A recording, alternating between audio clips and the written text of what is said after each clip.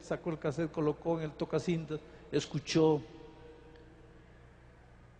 Y él me dice, pastor, cuando terminé de escuchar esa cinta me arrodillé llorando delante de Dios.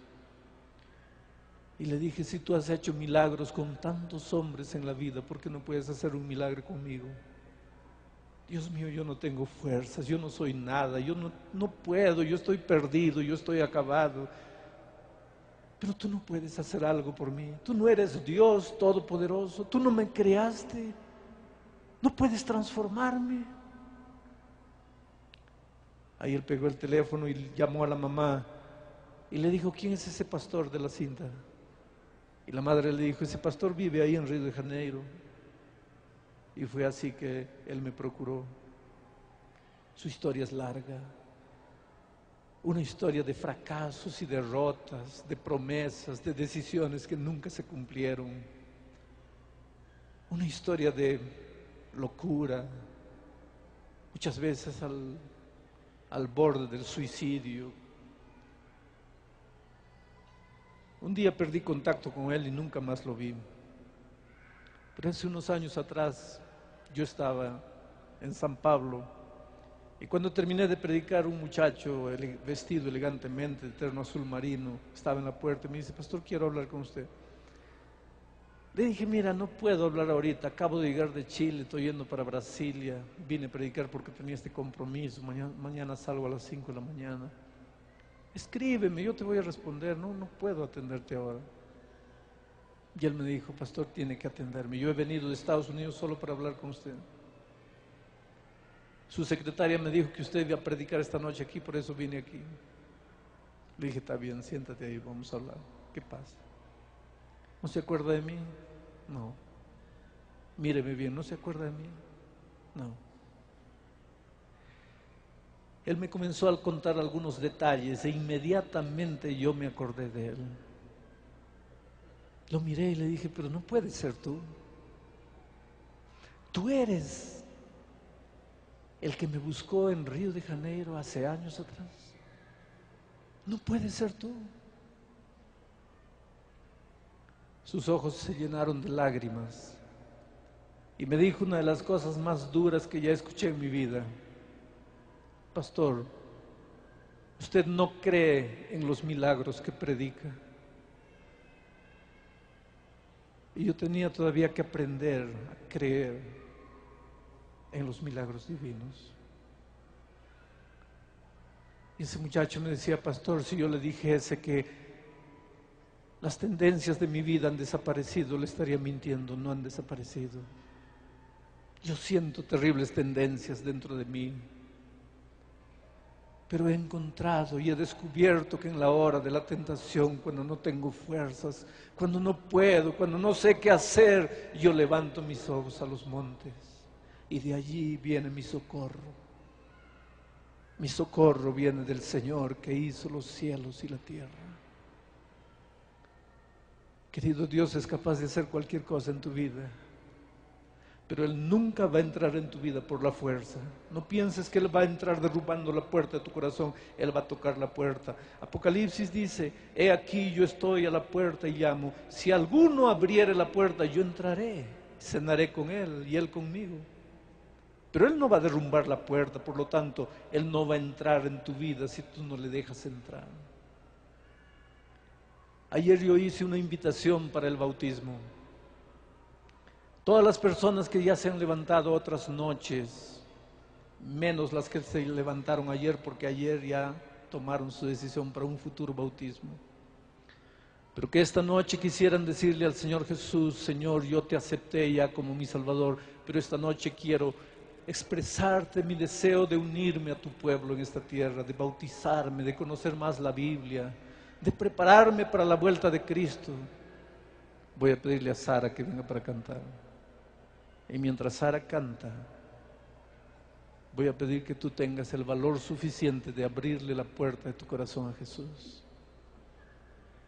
Que tú te levantes y vengas aquí adelante, expresándole al Señor Jesús tu deseo de prepararte para un futuro bautismo. ¿Quién es la primera persona que quisiera levantarse? Baja de donde estás. de la galería, baja, tómate el tiempo necesario, sal de aquí, de las sillas, ven aquí. Yo voy a estar orando en mi corazón por ti aquí.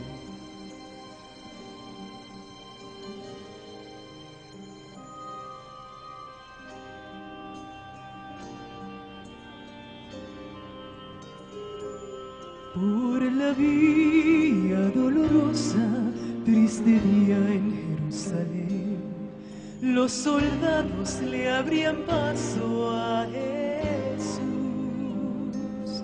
mas la gente se acercaba para ver al que llevaba aquella cruz.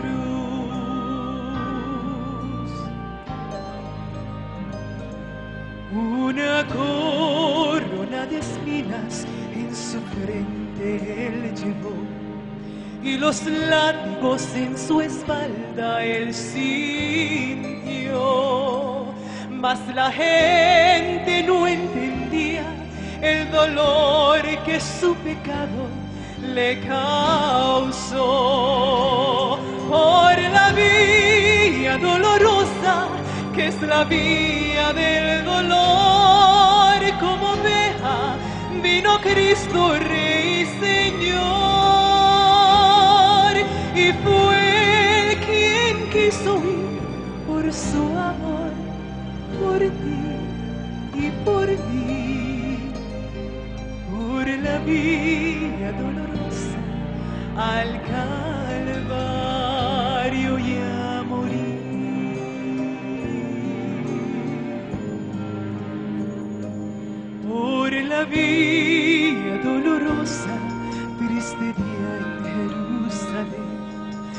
Los soldados le abrían paso a Jesús, mas la gente se acercaba para ver al que llevaba aquella cruz.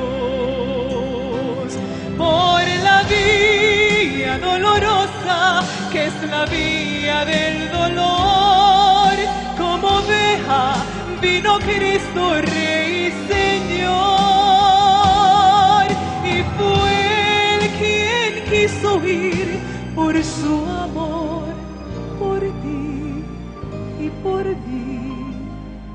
por la vía dolorosa al Calvario y a morir.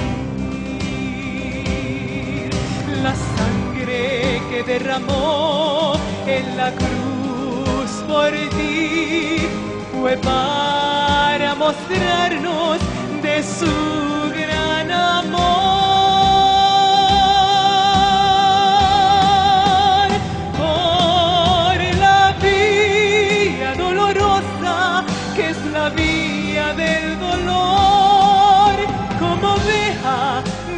Vino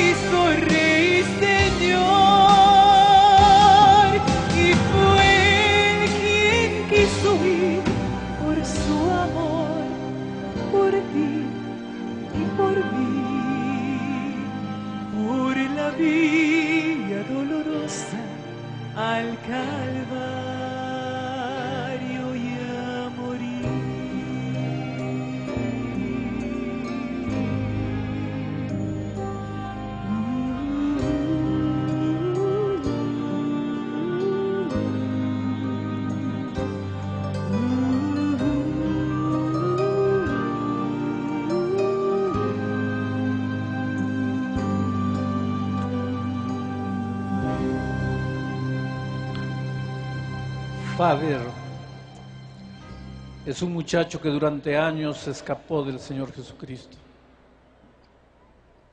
Sufrió mucho lejos de Jesús. Un hermano suyo oró mucho por él y finalmente ese hermano hoy día tiene la alegría de ver su hermano rendido a los pies de Cristo. Después de pasar por una vida sin principios, sin límites, arrepentido esta noche llega al tanque del bautismo para sellar su pacto de amor con Cristo. Querido Father, tú sabes lo que es vivir sin Cristo, lo que es sufrir solo, lejos de Dios, pero también sabes lo que es ser tocado por el Espíritu. Esta noche vienes públicamente a confesar tu amor por Cristo, para que de aquí para frente vivas una vida victoriosa y para que todo tu pasado sea perdonado. El pastor Pablo Hernández te bautiza en el nombre del Padre, del Hijo y del Espíritu Santo. Amén.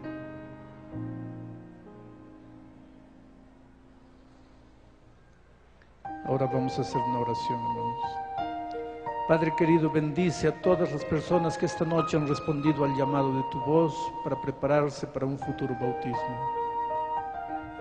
Haz por ellos lo que ellos no tienen fuerzas de hacer por sí mismos. Saca de ellos lo que tiene que salir. Coloca en ellos lo que está faltando. Hazlos crecer. Bendícelos. Dales victorias. Prepáralos para que, como este muchacho, muy pronto ellos también puedan, puedan sellar su pacto de amor con Cristo a través del bautismo. Te pedimos en el nombre de Jesucristo.